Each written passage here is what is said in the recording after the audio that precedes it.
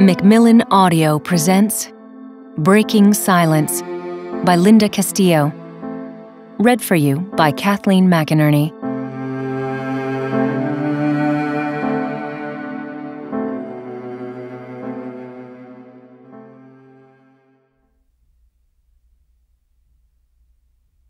These be three silent things the falling snow, the hour before the dawn, the mouth of one just dead. Triad by Adelaide Crapsey. Prologue The dogs were going to be a problem. He'd driven by the place twice in the last week, headlights off, windows down, looking, listening, planning. He'd heard them barking from their pens. Fucking beagles. He could see the tops of the chain link kennels from the road, at least a half dozen of them. The old lady had a whole herd of flea bitten, barking mutts. But then, that's what dirty old bitches did collected dirty animals, lived like a pig herself. If she thought dogs would keep them from doing what needed to be done, she had something else coming. Something else. The wind had come up in the last hour, hard enough to rattle the tree branches. The cold wasn't a hardship. The wind would help cover any noise. With a little luck, they might even get some rain or snow. Messy with the mud, but messy was good when you didn't want to get caught. He'd killed the headlights a mile back, lowered the window as he rolled past the place one last time. No lights in the house. Dogs were quiet. The moon was a fuzzy globe behind thickening clouds, but then the dark was a plus for the task ahead. He knew what to do, knew the layout of the place, didn't mind working blind. Glancing at his passenger, he nodded. Time to rock and roll. He parked the truck on a dirt turnaround a hundred yards from the mouth of the gravel lane. He duct taped the dome light so there was no telltale glow when he opened the door. Then they were out of the truck, gray white breaths puffing out, winter silence all around, the click of tree branches in the wind, the hoot of an owl down by the creek. The cornfield had been cut, and the fallen stalks whispered like disobedient children. Standing at the passenger door, he quickly toed off his boots, shoved his feet into knee high muck boots. Going to need them tonight, and not just for the mud. The leather sheath came next. He strapped it around his hips like a gun belt. On the back seat, the blade of the Bowie knife gleamed like blue ice. It was German made, the best on the market, with a thick six inch blade and an epoxy coated leather handle. He liked the handle a lot. The texture kept your hand from slipping when the blade got slick. The guard was small, so he couldn't do a lot of jabbing but the piece was heavy enough to slash and do some serious damage. He'd gotten a free sharpening stone when he'd ordered it four years ago. Damn good knife. A thrill ran the length of him when he picked it up. It was a comfortable weapon in his hand. Deadly and beautiful.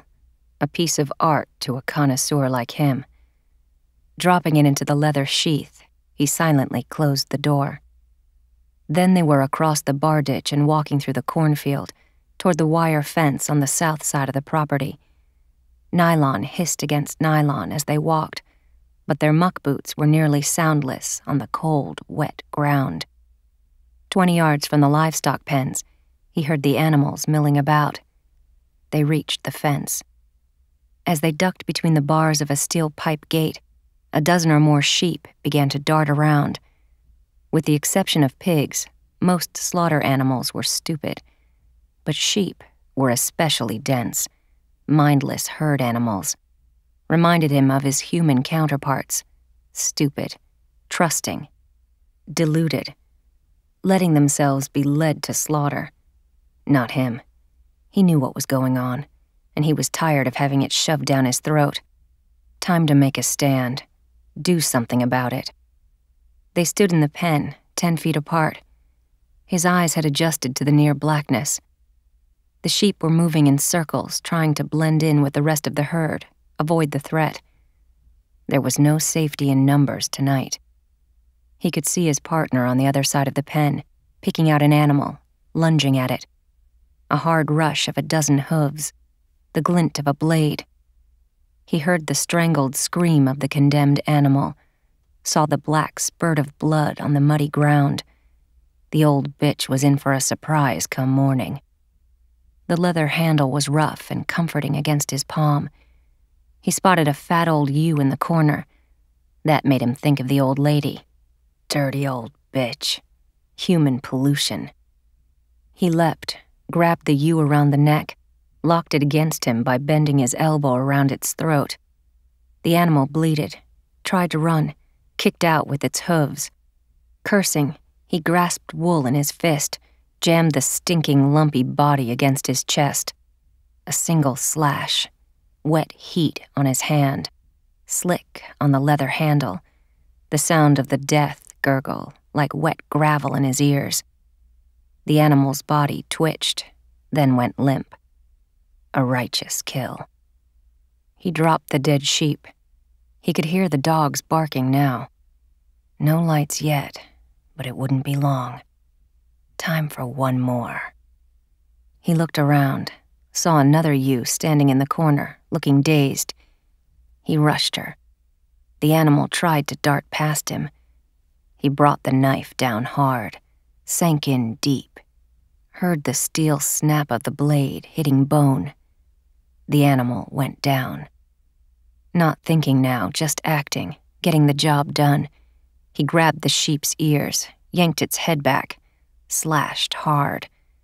The spurt of blood looked black in the darkness, hot against his hand, on his clothes. Never liked that part of it. Lights, his partner whispered. Gotta go. He turned, saw the yellow glow through the trees. The dogs were going nuts in their kennels. Fucking dogs. Already moving fast, not speaking, ducking between the bars of the gate, mud sucking at his boots. And then he was running full out, arms pumping, breaths billowing white, adrenaline running hot. They reached the truck, wrenched doors open, clambered in. How many you get? he asked. Two. The passenger yanked off his cap, still breathing hard. How about you? Two. Thinking about it, he smiled. Dirty old Amish bitch. Chapter 1 The rain started at midnight. The wind began a short time later, yanking the last of the leaves from the maple and sycamore trees and sending them skittering along Main Street like dry, frightened crustaceans. With the temperature dropping five degrees an hour and a cold front barreling in from the north, it would be snowing by morning. Fucking weather. Roland, Pickles Shumaker, folded his 74 year old frame into the Crown Vic cruiser and slammed the door just a little too hard. He'd known better than to let himself get sucked into an all nighter. It wasn't like he was getting any younger, after all. But his counterpart, that frickin' Skidmore, had called in sick, and the chief asked Pickles to fill in. At the time, Cruising around Painter's Mill at four o'clock in the morning had sounded like a fine idea. Now, he wondered what the hell he'd been thinking. It hadn't always been that way. Back in the day, the night shift had been his salvation. The troublemakers came out after dark, like vampires looking for blood. For 50 years, Pickles had cruised these not so mean streets, hoping with all of his cop's heart that some dipshit would put his toe over the line so Pickles could see some anxiously awaited action. Lately, however, Pickles could barely make it through an eight hour shift without some physical ailment reminding him he was no longer 24 years old. If it wasn't his back, it was his neck, or his damn legs. Christ, it was a bitch getting old.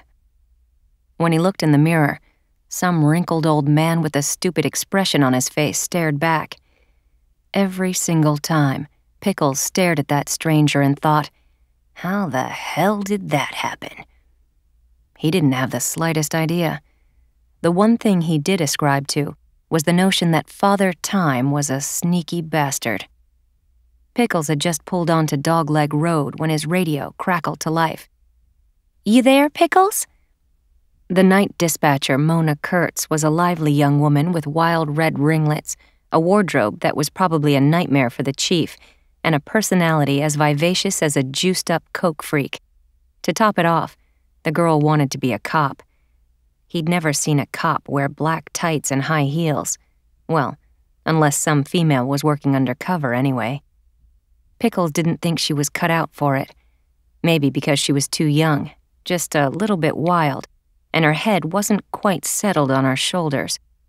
He had his opinion about female cops, too, but since it wasn't a popular view, he kept his mouth shut. Of course, he'd never had a problem working for the chief. At first, he'd had his doubts, a female and formerly Amish to boot, but over the last three years, Kate Burkholder had proven herself pretty damn capable his respect for her went a long way toward changing his mind about the female role in law enforcement. He picked up his mic. Don't know where the hell else I'd be, he muttered. Skid's going to owe you big time after this. You got that right. Some bitch is probably out boozing it up. For the last two nights, he and Mona had fallen to using the radio for small talk, mainly to break up the monotony of small town police work. Tonight, however, she was reticent, and Pickles figured she had something on her mind. Knowing it never took her long to get to the point, he waited. I talked to the chief, she said after a moment. Pickles grimaced. He felt bad for her, because there was no way the chief was going to promote her to full time officer. What'd she say? She's going to think about it. That's something. I don't think she likes me. Aw, she likes you just fine. I've been stuck on dispatch for three years now. It's good experience. I think she's going to bring someone in from outside the department. Pickles thought so too, but he didn't say it. You never knew when a woman was going to go off on a tangent. The night was going to be long enough without having his dispatcher pissed off at him, too. Hang in there, kid. She'll come around. Relief skittered through him when he heard beeping on the other end of the line. I got a 911, she said, and disconnected. Heaving a sigh of relief, Pickles racked the mic and hoped the call kept her busy for a while, and didn't include him.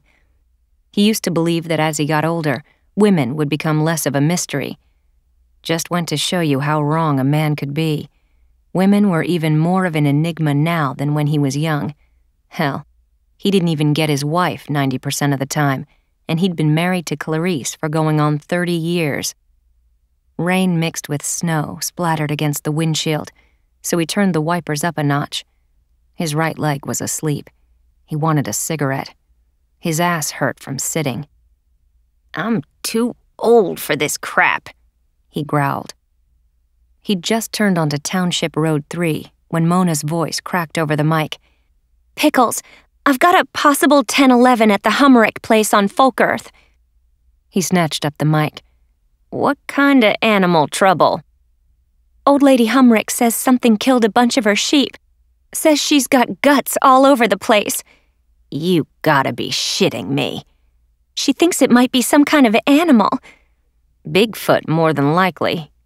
Muttering, Pickles made a U turn and headed toward Folk Earth. What's the address out there? Mona rattled off a number that told him the Hummerick place wasn't too far from Miller's Pond and the green belt that ran parallel with Painter's Creek. I'm 1076, he said, indicating he was en route, and hit the emergency lights. The Hummerick farm was lit up like a football stadium when Pickles arrived a few minutes later. A mix of snow and rain sparked beneath a giant floodlight mounted on the barn facade. A widow for going on 20 years, June Humrick was the size of a linebacker and just as mean. She claimed to be Amish, but she neither looked nor acted the part. A decade earlier, she'd thumbed her nose at the bishop and had electricity run to her farm. She drove an old Dodge pickup, dipped tobacco when it suited her, and cursed like a sailor when she was pissed. The Amish church district no longer claimed her as one of its own. The widow Humrick didn't seem to mind. She stood next to her old Dodge, wearing a flannel nightgown, knee high muck boots, and a camo parka. She clutched her late husband's double barrel shotgun in one hand and a flashlight in the other. I'm over here, she bellowed. Leaving the cruiser running and the headlights pointing toward the shadowy livestock pens on the backside of the barn, Pickles grabbed his maglite and heaved his small frame from the car. Evening, June. We hope you enjoyed this preview. To continue listening to this audiobook on Google Play Books, use the link in the video description.